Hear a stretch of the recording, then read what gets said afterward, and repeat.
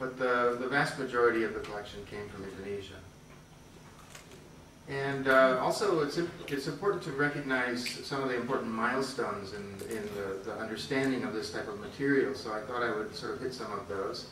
Um, we know that some work had been done prior to, to, uh, to, to, to, the 1980s. Bühler in the 1950s had done some work with the patola cloths.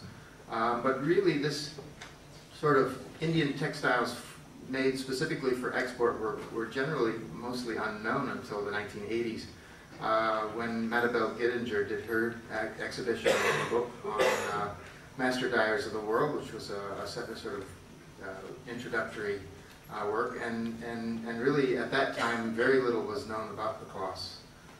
Uh, then in 1997 and 1998, a pair of very important uh, publications came out. One was Ruth Barnes' work on Indian block printing textiles for Egypt, which are mostly fragmentary pieces that were found in archaeological sites in, in Egypt, and these date from everywhere from about the 5th century onwards into the 14th, 15th century. Uh, so this is where we began to sort of get an idea about the age of some of these textiles and how long these textiles have been uh, traded into the region. Uh, then in 1998, uh, of course, uh, John pretty much spilled the beans on the uh, textiles for the Eastern markets with his very, very important book, Woven Cargoes, which was a major influence in my thinking for the exhibition.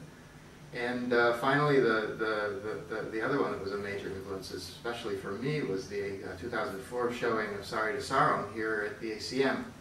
And uh, as a young curator, uh, uh, very new uh, at the time, only about a year and a half into my, my career, um, I took on the responsibility of shepherding um, the, the, the exhibition side of the, of the show and was able to get an introduction to these extraordinary cloths. And I think that was the most important aspect for me was, it was understanding suddenly that in fact Southeast Asia had textiles which go back 700 years, which really uh, was quite an amazing thing to think about at the time. So anyway, uh, some of the exhibition concepts. Um, the title of the show is Patterns of Trade, and really it's a sort of a double entendre because it, it talks about both the patterns in the cloth and also the way that the cloth was traded uh, from India to various parts of the world. And so uh, the, the, the, title sort of came out of thinking about these things, and it, and it was really inspired by this particular cloth, which is one of my personal favorites and which I uh, absolutely love seeing at the gallery. Um, and the show really was, I think the other thing that was really striking about the, the material to me was that it spoke to this term globalization, which, I mean, to most people, they think of globalization as something that's very contemporary and very now. But actually, the process of globalization has been going on for literally thousands of years. And these textiles really speak to that idea of exchange, both of the material itself and also the ideas behind the material, the patterns in the tra trade cloths themselves. And so we begin to see, uh, you know, patterns of exchange between cultures, which are really quite extraordinary. European ideas finding their way into Indian cloths, which then find their way into Indonesian cloths, and then meld their way back into India again. And so it's not about something that's only going outward from India. It's also a conversation between all of these various markets about what is aesthetically interesting and, and how that changes over time as well, which I think is really fascinating. So I wanted to address several questions. But first of all, this exhibition was intended to be a sort of introductory show because it's a new collection for the ACM. It's a very important collection for the ACM, and we have to think in terms of down the road. Um, so I wanted to introduce this collection to our audience and also to the world. And so I wanted to answer some very basic questions like where were these textiles made? Uh, what were they used for? And where were they used? And why were these textiles so popular for such a long time? Um, and then finally, what, what are the influence of these cloths? Uh, I mean, you know, as I was sort of preparing for the exhibition and looking at these textiles every day, uh, and then I would go off to lunch, and I would see, you know, in the hemline of a lady's dress, uh, patterns that I was absolutely certain came from some textile I'd been looking at on my computer. So it was really quite an extraordinary time for me, actually. So I structured the exhibition basically in five major segments. One is a sort of early history section where we introduce some of the, the, the early uh, factors, particularly the, the, the Fustat fragments and uh, our very, very early knowledge of the material. And then uh, uh, we look at production techniques, how the textiles were made in the various places. So one of the things that we did was we wanted to bring some of the production tools which are used, because these sort of help people to conceptualize how these textiles were made. And also, uh, we use some of our documentation footage, um, which has been hugely popular. Every time I go in the gallery, I see people watching the videos rather than looking at the textiles. so um, then, of course, we wanted to look at the production centers, and this is a rather overcomplicated map, but I couldn't find the one we used in the exhibition on my computer last night. So, um, but basically, the cloths that you see in the show are largely produced uh, in uh, Coromandel Coast and in Gujarat, um, which uh, were the two, two areas where the textiles that were produced that found their way to Indonesia, um, which have survived in Indonesia. Then uh, the next section is the section on markets, which is the sort of the, the lion's share of the exhibition. And there's a little section on uh, cloths for the Western market, particularly the European market. Uh, and then uh, Eastern markets, Thai market, speculation a little bit about Japanese market, but again, as Dr. Uh, Chong has already said, we don't have any Japanese market material. Uh, we'd like to have that. And then, uh, of course, uh, because of the, the, large number of pieces from the Indonesian uh, archipelago, we have uh, a, a, a, larger section on uh, pieces for the Indonesian market.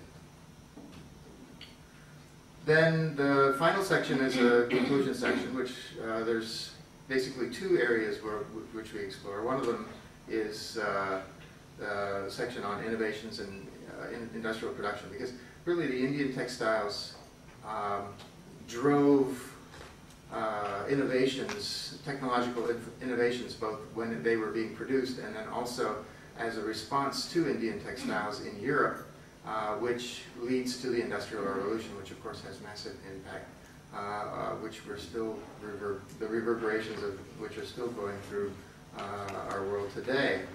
And then also a section on influences and comparisons. And um, so I put juxtaposed some Indian pieces with European and Indonesian pieces as well to sort of show some of the, the influences and also to sort of challenge people's notions about what is and what isn't Indonesian. So, you know, even a 1970s dress, which uh, some people might question uh, as being relevant to the, the discussion, I, I wanted people to sort of uh, look at and, and start to, to, to, to change their perceptions of the influences of Indian cloth.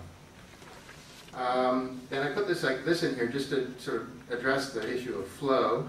Uh, our gallery, as you know, uh, is a little bit uh, unique in that we have these huge columns which run through the show, so you either go clockwise or counterclockwise.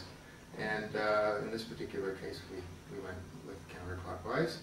But, uh, and then I wanted to also address a little bit uh, exhibition design. When we did Sari to Sarong, in 2004, we built walls in the spaces, and these walls sort of delineated uh, um, uh, the space, but also uh, we ended up with these very long, narrow spaces where you couldn't really see the textiles um, very well. Uh, fortunately, most of the pieces were Indonesian, so a little bit smaller than the Indian pieces, but still, you ended up sort of right up against the things, and you couldn't really see them from a distance. So as I was getting my head around how to display the show, I really was, I had another very interesting in observation and in inspiration uh, when I was home uh, for a little bit of a visit with my family, and uh, visited uh, a childhood favorite of mine, the National Museum of the United States Air Force, which uh, some of you may find a rather unusual place to find inspiration about Indian cloths. But uh, I absolutely love this museum. As a, as a young boy, I grew up mad about airplanes, which some of us did. And uh, my father took me here a number of times through the course of my childhood, because he also was crazy about airplanes. So, um, and we would, uh, I, I, went through the space again, and I, I just loved the way you could get close to the airplanes and then you could be far away from them, the way they hung from the ceiling, or were even plunked up against the wall sometimes. Um, you could walk underneath some of them. So I was really inspired by this idea of really getting around the cloths as well.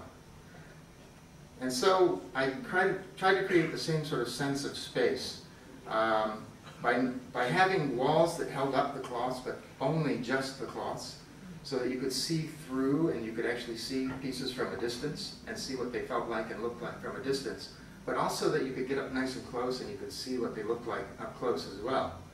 But these look-down cases that we used uh, we had sort of knockdown, drag-out fights in the conservation lab about the angles that they were displayed at. But I didn't want them to be flat, and the conservators did because, of course, it's safer for the cloth. But we came up with a nice compromise where you have a little bit of an angle, and at the same time with these, uh, these, these lights which sort of wash across the cloth, and you can actually get the structure of the cloth and you can feel the texture almost without even having to touch them. Um, so these were some of the ideas. The other one was I wanted to use structures to create context. And so uh, we have things like these sort of long banner-like pieces which were used at Toraja. They would be hung up on huge poles. And uh, obviously the conservators are not going to let me dangle these things from poles, but um, we were able to select a number of pieces which were in good enough shape to be put on nice uh, flat uh, panels and, and placed up in the same sort of way, so you get the sort of sense of what they look like in real life.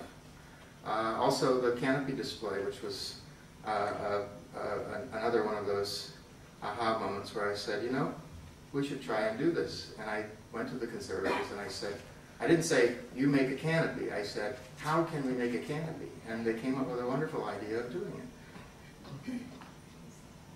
And finally, I wanted to address a little bit the documentation material and uh, how we use that. Uh, again, we mentioned the, the, uh, the, the, the, video and the display, but more importantly, I mean, um, documentation provides some context, so people get a better sense of what the textiles really are and how they're made, and, and, and so context is, is, is another way for people to really experience the pieces in a little bit more of a three-dimensional sort of way. Um, and also, it, it brings things up to date, you know. I mean, it's one thing to look at a 700-year-old textile and say, wow, that's a really old textile. But it's even more interesting when you can see that there's still today things going on in the world relating to these 700-year-old textiles. So I also wanted to, to, to, do that. And then, of course, for research, uh, it's very, very important uh, as curators, we went on three research trips eventually. Uh, Gauri and I went, uh, along with a number of other colleagues, to uh, Gujarat and to uh, Coromandel Coast. And uh, it, gives you, it gives you a better sense and feel of where these things came from. And, and also, it's a wonderful experience, of course. And then, lastly, just very briefly, I wanted to sort of sum up by sort of addressing some of the issues of the future of the collection.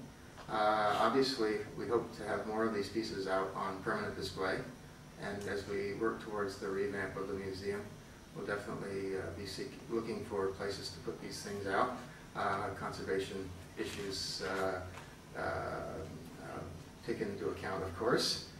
And uh, we hope to do more temporary exhibitions because, of course, uh, there's a lot of things where these textiles can be used, both in thematic shows, uh, shows about trade, um, uh, exhibitions about uh, different types of textile techniques, um, and shows about more subtle, interesting things about influences of textiles back and forth between cultures.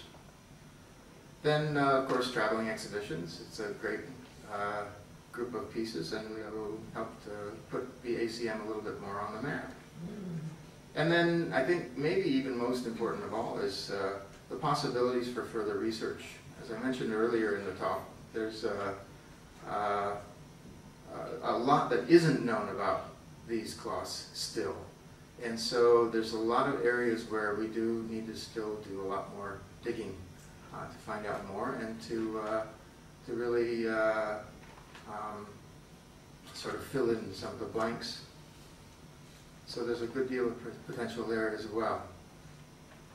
Okay, well, um, anyway, that's pretty much all I had for you. So uh, thank you very much, and uh, I do hope you enjoy the rest of the day.